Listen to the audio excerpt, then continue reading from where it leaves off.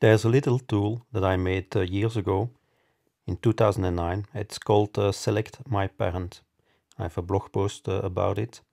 It's a little tool that allows you to launch a program here like Notepad, but then it will have as parent process the process with the PID that you specify here, uh, 864, which happens to be the Elsa's uh, process, and you can see Notepad, okay? Well, what I want to show now is that uh, I also implemented this, so this was a C program, and uh, now I also implemented this in uh, VBA, uh, in Excel here in my task manager uh, spreadsheet. So uh, in Task Manager here I have a tab Create Process and with that I can launch a program like Calculator, here calc.exe. I can click Create Process and then Calculator is launched.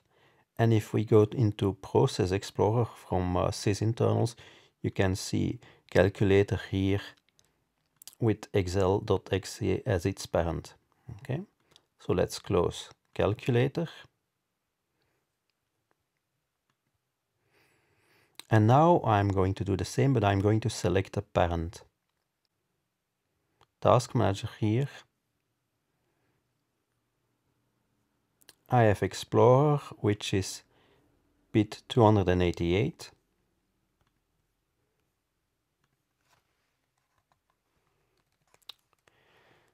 So 288 calc.exe, create process.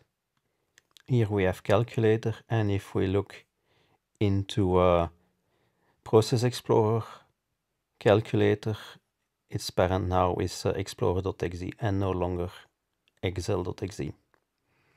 Now I'm not going to share uh, the VBA code uh, with which I done this, but if you want to test it, you can just uh, test it on your um, environment with my select my parent tool. It's a simple C program.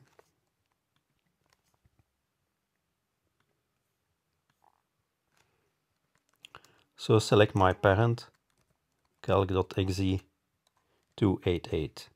Let me close. Calculator here, like this, and then calculator is launched. And if you go into Process Explorer, you see that it's not command.exe, its parent, but uh, uh, explorer.exe. Some interesting things about that. So select my parent has to open a handle to the parent process, uh, here explorer.exe, and that is something, for example, that you can uh, discover um, with the right uh, sysmon configuration, for example.